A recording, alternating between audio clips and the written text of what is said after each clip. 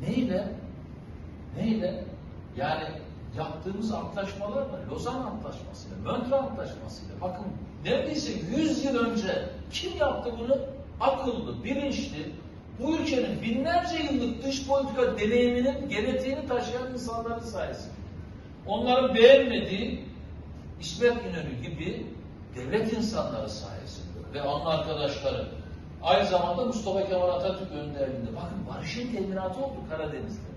100 yıl önce atılmış imza. Neredeyse bu hiçbir önemi yap- yoktur. Atın laftan demelerine rağmen sonra hepsi Montreux'e sarıldılar. İşte Kanal İstanbul meselesinde, Boğazlarla ilgili geçiş meselesinde çokça tartışıldı. O bakımdan Türkiye'nin dış politika aklı bu işi çözer. Ama zamana ihtiyacımız olacak. Sıfır e, sorun asla olamayacak. Yani böyle bir şey mümkün değil. Ama e, kontrollü, denetimli, ciddiye alınarak, sağlıklı bir strateji yapılarak, e, dünyayı da bu işin içine katarak, dünya da bu konuda sınıfta kaldı, onu söyleyeyim, başta Avrupa. Yani Avrupa'nın işine geldiler 3 milyar euro, Türkiye onlara baksın metodunu tercih ettiler, şimdi kendileri baş edemiyorlar. Bak bugün Ukrayna'da yaklaşık 10 milyon insan evini terk etti. Neredeyse tamamı Avrupa'ya göç etmek üzere. Dolayısıyla benim başıma gelmez, bu dünyada hiç kimse diyemez, Avrupa'nın göbeğinde savaşı izliyoruz şu an. Onun, o, o bakımdan da dünyayı da işine, işin içine katarak biz bu işi Orta Doğu'da çözeriz.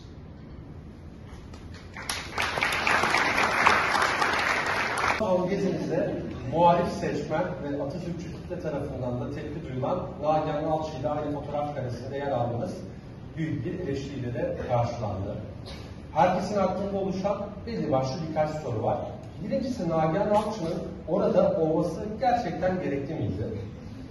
İkincisi Murat Ongun bu fotoğraf karesini paylaşırken bu durum sizin bilginiz dahilinde miydi? Üçüncüsü bu tartışmalar yaşanırken hem Murat Ongun'un hem de sizin eleştirileri karşılama, biçim, karşılama biçiminizde ayrıca ülkede çok büyük bir rahatsızlık yarattı. Hatta size tepki amacıyla da sosyal medya hesaplarından sizi takip etmeyi bırakan da çok da fazla kişi oldu. Genel anlamda tüm bu sorulara Trabzon gezinizle alakalı özellikle ne söylemek istiyorsunuz? Ee, Burada beş dakika. Evet.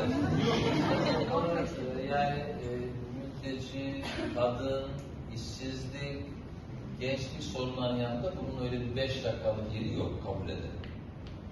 Bir. İkincisi e, biz toplumun her kesimine sesimizi duyurma gayret içinde olan yöneticileriz. Üçüncüsü yani biz e, şununla konuşalım, bununla konuşmayalım stratejisini ortaya koyan siyasiler asla olmayacağız.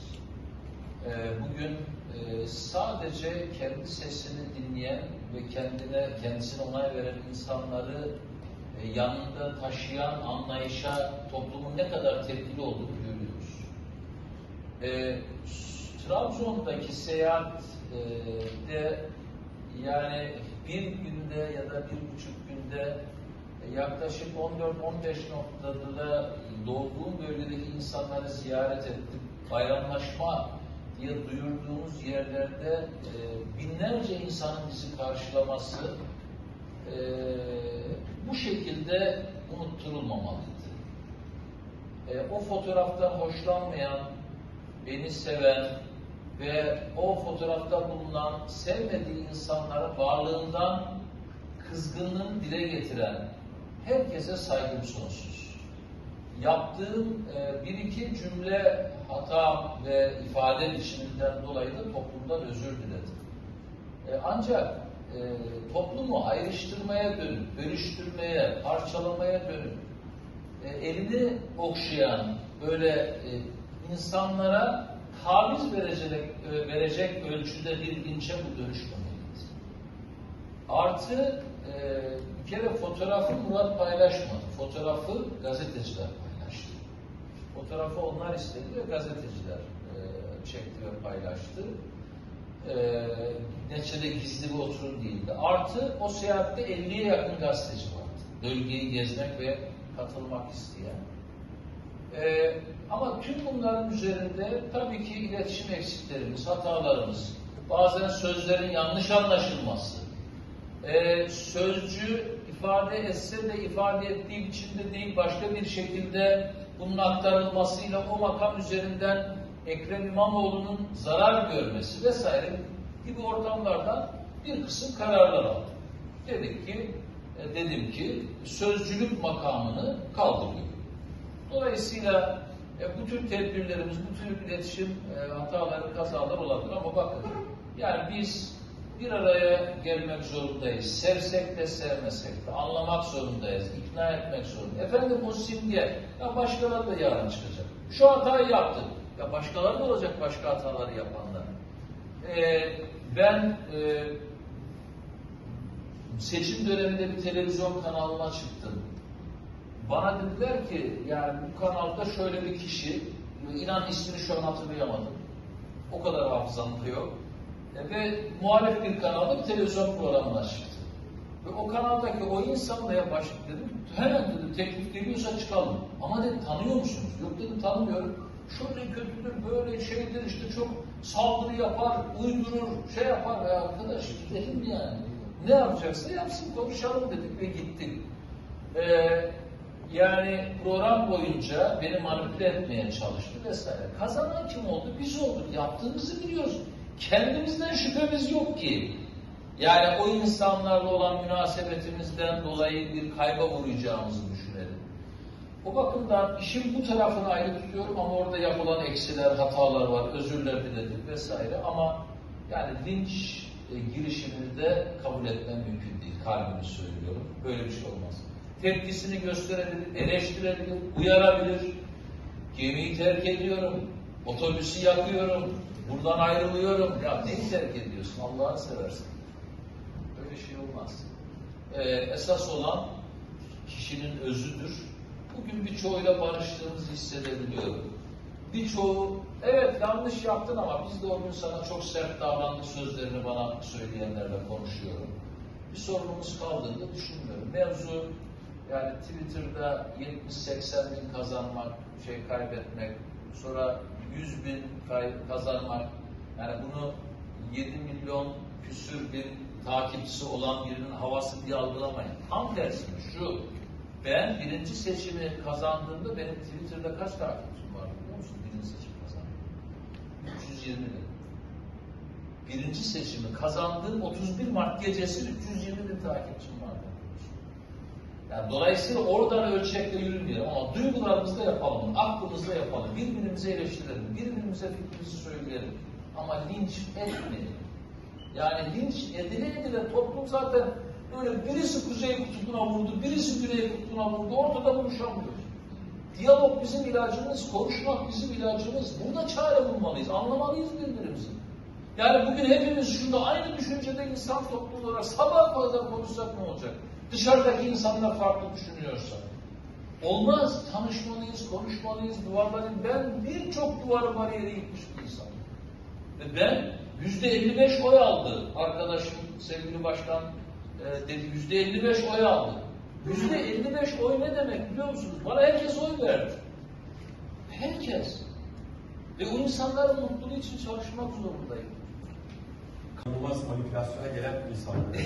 Ee, Sevgili kardeşim bak beni devlet üniversitesine gittiğim zaman rektör kayboluyor ortadan. Hocası kayboluyor ortadan. Yani okula gittiğimde bizi karşılayacak adam bulamıyoruz.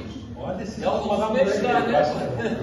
35 tane okula e, spor salonu açtık yapacağız. Ya bir ilçeye gidiyoruz olmaz. Niye olmaz?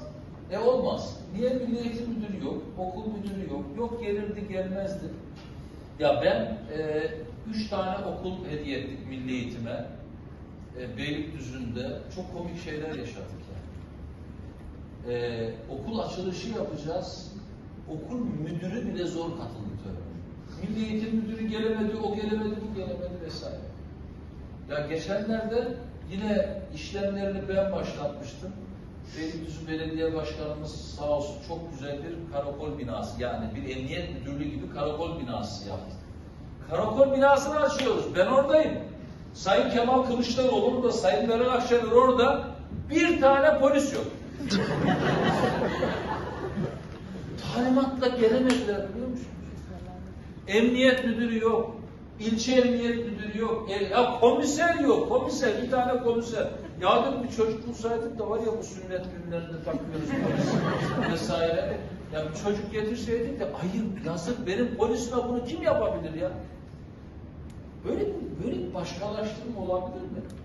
Ya bu o akıl ya. Ben nasıl gidip devlet üniversitesine? Rektör elimizi sıksa yarın görevden alacak. Hoş bu ara böyle bir iki rektörlüğünü sıksak da görevden alsın.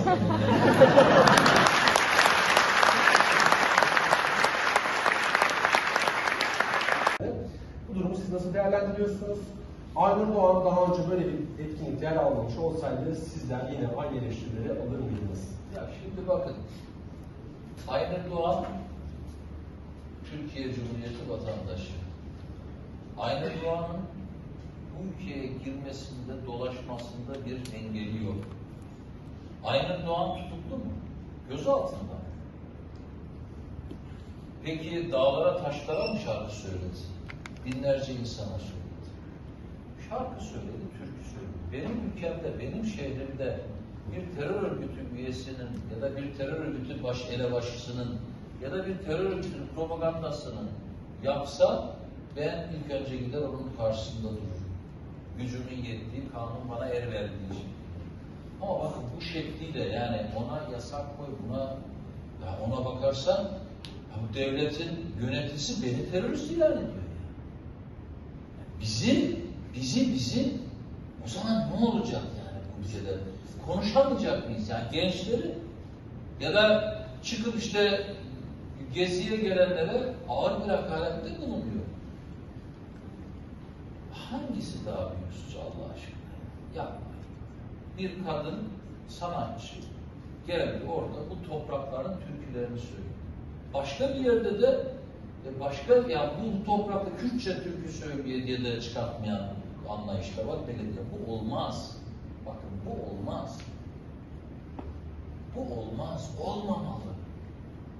Ama şu normal, unutuldu.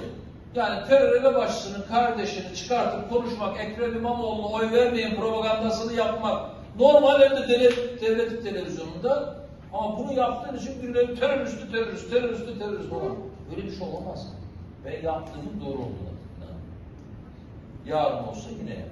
Ama tabii ben istihbaratçı değilim. Bir yerdeki söylediği konserde arkasındaki afişin anlamı ne, sağındaki afişin anlamı ne, solundaki afişin anlamı ben onu takip edemem. Şuna bakarım, bu insan sanatçı kimliğiyle bu ülkede geliyor mu, gezebiliyor mu, bir şehirde konser hakkı var mı? Engeli varsa devlet der ki yani bunun engeli var. Yani güvenilir adalet sistemi olan toplumlarda durum böyledir. Kere iki dört sevgili arkadaşlar yapmayın. Yani seversiniz, sevmezsiniz, dinlersiniz, dinlemezsiniz. Hani öyle sanatçılar var ki neler söylüyor, neler yapıyor. Bu ülkeye bazen öyle laflarla, öyle kötülükler yapan sanatçılar var ki ya da sözüm ona sanatçılar. Ee, bu ülke 86 milyon. Bakın bu ülke 86 milyon. Bazen ettiğimiz laflar, sınıflandırdığımız gruplarla bazen 10 milyon insanı rencide edebiliyoruz. 5 milyon insanı çöpe atabiliyoruz. Buna kimin hakkı var? Buna kimin hakkı var? Benim gibi yöneticilerin önceliği o 5 milyon insanı anlayabilmek. Bakın ben seçim meydanlarında ne dedim? Ben bu şehirde azınlık kelimesini duymak istemiyorum. Ne demek azınlık ya? Yani benim bir Ermeni vatandaşım bu şehirde azınlık diyeceğim. 600 yıldır yaşıyor. Ben 40 yıldır yaşıyorum. O olacak azınlık. Ben olacağım azınlık tersine. Çoğunluk lafa bak. Yani seçim olsa tamam deriz ki azınlık çoğunluk. Dolayısıyla hani bu kavramların hiçbirisi bir topluma iyi gelmez. Ne demek ya Ermeni vatandaşım benim ya? Ermeni vatandaşım, Yahudi vatandaşım, ya da Müslüman vatandaşım, ya da Kürt vatandaşım, ya da Çerkez vatandaşım. Ya bunların vatandaşım benim, daha ötesi yok. Bitti. Eşit, aynı. Kavram bu olmalı. Benim de kavramım bu. Seversiniz. İsmini vermeyeceğim. Türkiye'nin en önemli kuruluşların insan kaynaklarının başında olan insanlar.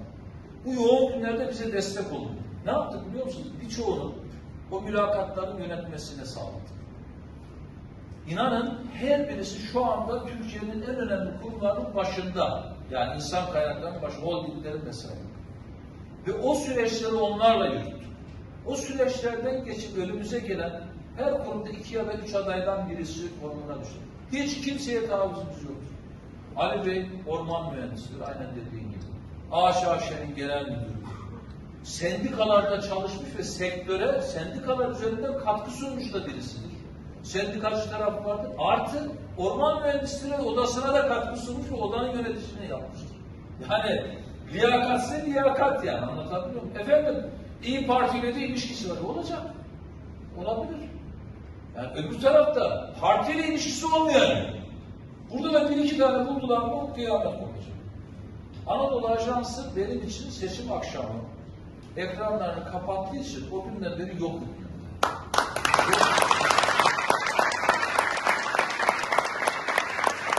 Ama sendika meselesi benim master mesela. Yani ben insan kaynakları master yaptım İstanbul Üniversitesi'nde. Sendikacılığı bilirim, sendikadaki adaleti de sağlamayı bilirim ve bu konuda özel gayret gösteririm. Hangi ihbar varsa bu ihbarla ilgili bu ihbarı biz yine de aldık. Hemen soruşturma başlattık. Şu an soruşturma sürüyor. Sonuç neyse ona göre gerekli cezayı da veririm ya da gerekli müdahale ederim. Ama şunu söyleyeyim. AK Parti döneminde sendikacılık yapan hak iş şu anda görevine devam ediyor. Ben propaganda yapsam, sendikacılıkta taraf tutsam devam edebilir miyim? Edemezdim biliyor musunuz? Şöyle bir şey yapmadım. Görevini yapıyorsa devam etsin. Ve eşit davranıyoruz. O bakımdan ama ben şunu söyleyeyim. Görevi aldığında tek bir sendikayı, muhalif sendikayı orada bırakmayan AK Partili belediyeleri ve hükümeti biz o tarihten bu yana iyi biliyoruz. Diğer sendikalar yoksa. O bakımdan inanın bu konuda çok demokratız, özgürlükçüyüz. Sendikacılığı da destekliyorum ama Türkiye'deki sendikacılığı da eleştiriyorum. Onun altını çizeyim yani bir mesleki şey olarak e, sendika konusunda çok yol almamız lazım. Hangi görüşte olursa olsun geri gittiğini ifade edebiliriz sendikacılık. Evet. Daha fazla soru alamayacağız çünkü Gençlerin, öğrencilerin kartı 80 liraydı. 80 lira. Ne zaman biliyor musunuz? Neredeyse 3 sene 3 ay önce. Biz gelir gelmez 80 lira olan kartı 40 liraya indirdik. Böyle bir indirim Türkiye tarihinde yok. Hiçbir şehirde yok. Ve Türkiye'nin en ucuz kartını bu şehrin gençlerine ve öğrencilerine hediye ettik. Ancak o günden bugüne o kadar maliyetler büyüdü ki yani bugün artık eee ya o günle bugün arasında yüzde 300, yüzde 350 birçok konuda. Yani aracın yedek parçasından arabanın fiyatına, mazotundan benzinine, elektriğine varıncaya kadar. Çünkü bizim metrolarımız büyük oranda e, o anlamda e, elektrik tüketiyor. Geldiğimiz noktada e, şu anda e, abonman kartımız 112 liraya, 109 liraya pardon 109 liraya geldi. Bakın 80 lira kalsaydı bugün sizin cebinizdeki kartlarınız 220-230 lira olmuştu. Biz aslında bir indirimle nefes aldırdık bu şehrin gençlerine ve devam ediyoruz. Yurt konusu, barınma konusu ciddi bir sorun. Ve bakın burada kri- kritik bir paradoks var. Bunu yakalamamız lazım. Bu şehrin kiraları çok pahalı. Hepimizin, hepinize. Çocuk, gençlere, ailelere, herkese çok pahalı. Ama bir şey söyleyeyim aslında İstanbul dünyanın şu anki rakamlarıyla en ucuz şehir. Dünyanın metropolleri arasında en ucuz şehir. Kötü olan ne? Dünyada en ucuz şey bize çok pahalı geliyor. Aslında biz çok fakirleştik. Ve bu anlamda katkı sunma çabası içerisinde kent lokantaları açıyoruz. İki tanesi aktif dağda sayıyı büyüteceğiz. Burada çok ucuza, özellikle başta öğrenciler olmak üzere ve dar gelirli e, işçi, emekçi kısmına özellikle nerede açacağız bunları? Okullarımızın olduğu bölgede iki tanesi açıldı dediğim gibi okullarımızın olduğu bölgede ve çok çalışanın e, asgari ücretle çalışanın çok olduğu yerlerde açacağız. Uygun fiyata yemek imkanı sunmak adına. Yurt ilk defa İstanbul Büyükşehir Belediyesi'nin yurdu var. 640 yatak. Bu sene 2000 oluyor. Ve ilk defa e, açtığımız bu yurt sayısını hızlıca 5000 yatağa çıkaracağız. Ben bu 5000 yatak hedefini önümüzdeki e, sene e, öğrencilere hediye etmek istiyorum. Dolayısıyla öğrencilerin bu anlamda da yanındayız. 3 saniye oynayalım. Sorunla ilgili hususlar e, kanunun e, uygun gördüğü biçimde devam edilir. Dava açılır, suç duyurusunda bulunur vesaire. Bunların aşamaları var. Ama ne yazık ki e, ne o güne dair e, açtığımız dosyalar şu anda e, doğru bir biçimde değerlendiriliyor ne de bugün bizimle ilgili soruşturma ya da inceleme sürecinde adil davranılıyor. Hatırlarsanız e, unutturuluyor bu şeyler. Yani 7 ay önce, tam 7 ay hatta 8 ay önce e, meclisin mikrofonundan 557 terörist var dendi Büyükşehir Belediyesi'nde hala tık yok farkında mısınız? Hala tık yok yani. O, o kimse o 557 terörist emekli olacak hala tık olmayacak. Bakın buna bir örnek vereyim. Seçimi iptal ettiler. Ne dediler? Hırsız, çaldılar. Binlerce terörle iltisaklı insan var dediler sandıkların başında vesaire. Bir kişi yargılanmadı. Bir kişiyle ilgili soruşturma açılmadı. Bunları unutmayın bakın. Bunları unutmayın. Bunlar önemli hafızalar. Yazık değil mi yani bu millete bir kez daha seçim yaptırdınız? Ben öyle 806 bin oydan memnun olacağım, ha iyi ki ikinci seçim yaptık diyecek birisi değil mi? Ben demokrasi aşığım. Ha 1 milyon 200 bin olsa belki evet. İşin esprisi tabii. Asla ikinci seçimi istemezdik. Dolayısıyla böyle bir yöntemleri var, böyle bir yoğurt yiyişleri var. E, ama takipçisiyiz. Gün gelecek, hesap verecekler. devleti olmak böyle.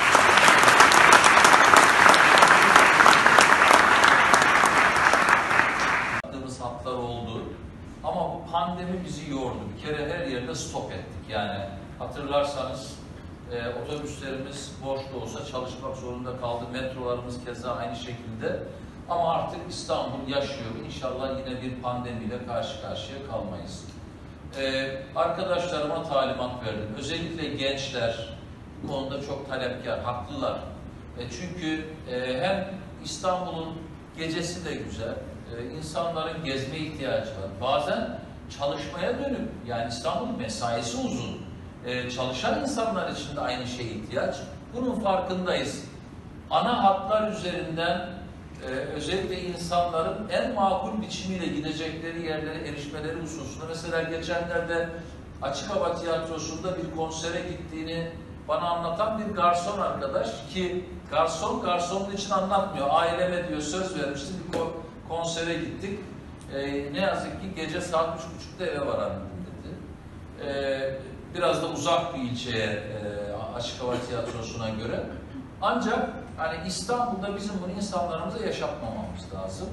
Bu bağlamda e, çalışmamız sürüyor. Yani bu yaz içinde bunları duyurmaya başlayacağız. Hem metroda, hem metrobüste ve de bazı bağlantı e, e, otobüs hatlarında bu imkanları sunacağız. Elbette ki gündüz kadar olamayacak. Elbette ki aktif, etkin saatlerdeki kadar olamayacak ama yaşayan İstanbul'a bunu sunmamız lazım. Kaldı ki bu sene Maltepe'de çok e, gerçekten sizi bekleyen kültürel etkinliklerimiz var. E, Yeni Kapı'da etkinliklerimiz var. Açık hava keza aynı. E, Kadıköy Gazhane'ye mutlaka gidin. Hemen hemen her hafta, haftanın en az 3-4 günü etkinliklerimiz var. E, gece etkinliklerimiz var. Şimdi Kadıköy'de yine bir festival alanı açtık bu pazartesi itibariyle. İskelenin tam ucunda muazzam bir yer. Bir taraftan tarihi yarımada izliyorsunuz, bir taraftan Haydarpaşa'yı, bir taraftan Moda'yı, bir taraftan Marmara Denizi'ni görüyorsunuz. Öyle bir alanda yine bir festival alanı oluşturduk. Dolayısıyla sadece bizim 6-7 noktada sizi besleyen, bekleyen etkinlikleri var. Bu anlamda oraların ulaşımını destekleyici e, hamlelerimiz olacak. E, yani ulaşım anlamında. Somut verileriniz varsa onları da paylaşabilirseniz Evet. çok mutlu oluruz. E, tabii göçmen ya da mülteci bunlar hepsi ayrı ayrı kavramlar bu arada. Sığınmacı. Ya Bütün bu kavramlar başka statülere ve başka e, uluslararası anlaşmalara tabi. Bizde tabii en e, zor alanı sığınmacılar yani özellikle Suriyeli e, sığınmacılar ve diğer birkaç ülkeden gelen çok kontrolsüz bir alan yaşattılar bize bakın. Yani bu ülkeye gerçekten çok e, ihanet edilen süreçlerden birisidir. Kontrolsüz ve kötü propagandayla yani sanki bu millet e, mağdurun yanında değilmiş. Olur mu ya biz mağdur ya mağdurun tabii ki sahipleneceğiz. Savaşa karşı duracağız. Biz yurtta barış, dünyada barış geleneğini temsil eden ve savunan insanlarız. E, ama barışı yönetirken sizin de dış politikada çok tutarlı olmanız lazım. Çok doğru adımlar atmanız lazım. E, bu noktada attığınız her adım hem ülkenize, hem coğrafyanıza, hem dünyaya fayda vermesi lazım. Yanlış süreçlerin sonucunda bugün ülkemizde ne yazık ki milyonlarca sığınmacı var, e, mülteci var. Bugün e, İstanbul'da bunu çok vahşi yaşıyor. Çünkü bizim rakamlarımıza göre 2 milyonu aşkın, yani bu 2 ile 2,5 milyon arasında değişken bir sayıda e, sığınmacıyla karşı karşıyayız. Yani aslında İstanbul'un öğrencisiyle e, bu sığınmacılarıyla gerçek nüfusun 19,5 milyona yakın olduğunu biliniz. Yani bu kadar yoğun bir nüfusa hizmet ediyoruz. Buna bir de şuradan varıyoruz, kişi başı tüketilen su miktarından hareketle bunu bir miktar ölçebiliyoruz ve bu rakam böyle. Şimdi evet biz hadi bakalım bütün mültecileri kapıdan atalım. Böyle bir şey değil. Ya buna hiç kimsenin hakkı da yok. Yani uluslararası protokollerde vesaire insan değil zaten. Bir kere bu yanlış yapıldı. Bundan sonraki süreci doğru yönetmeliyiz. Bir, sığınmacı, mülteci hukuku dahilinde bu ülkede kalmasını sağlamalıyız. Yani işgal eder gibi değil, kontrollü, sistemli. Aynı zamanda orada bir diyalog sürecini de yönetmek zorundasınız. Yani çocuklarına sahip çıkmalıyız, kadınlarına sahip çıkmalıyız. Bizi mahcup edecek kötü görüntülerin var, var olmasını engellemeliyiz. Sonuçta ama geleceğe dair tutarlı bir dış politikayla barışın sağlanmasına dönük teminat olarak Türkiye'nin tutarlı ilişkilerini ortaya koyarak aslında geçmişte bugüne yaptı zaten Türkiye bunu. Özellikle Suriye'nin kendi e, oradaki mekanizmalarıyla barış içinde konuşarak, diyalog kurarak bu insanların olabildiğince kendi ülkelerine dönüşünü sağlamamız lazım. Mümkün mü? Mümkün. Büyük oranda mı? Büyük oranda. Ama hepsi gider mi? Ne yazık ki dünya tarihinde hepsi gider diyecek hiçbir ülke yok. Öyle